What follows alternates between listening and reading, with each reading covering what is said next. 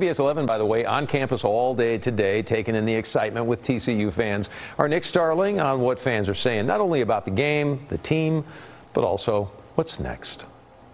TCU fans are ecstatic right now after a dominating performance over Iowa State. They're now 12 0 in the regular season, heading to the Big 12 championship game, and then likely a college football playoff berth. Go Frogs!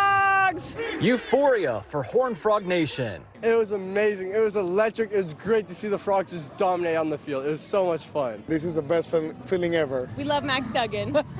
the final regular season game, a blowout. I've never been so emotionally involved in a football game before, but like I needed this after Baylor last week. TCU winning 62 to 14 in the dreary cold and rain, but nonetheless exciting for even the youngest of fans. I just like um, the TCU, so it's just the best. Six-year-old Case Carter took home the game ball. It's great. So this is his first game today. And uh, Griffin and uh, Jordy gave him the game ball because he had a little viral video going of a Baylor game where he went ecstatic. Now the attention turns to next week's Big 12 championship game. That's just more than anybody could have expected for this year.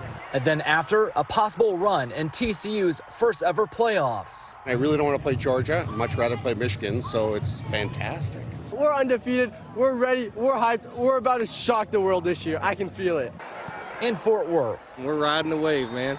All the way. Nick Starling, CBS 11 News. We got our frog fingers crossed. So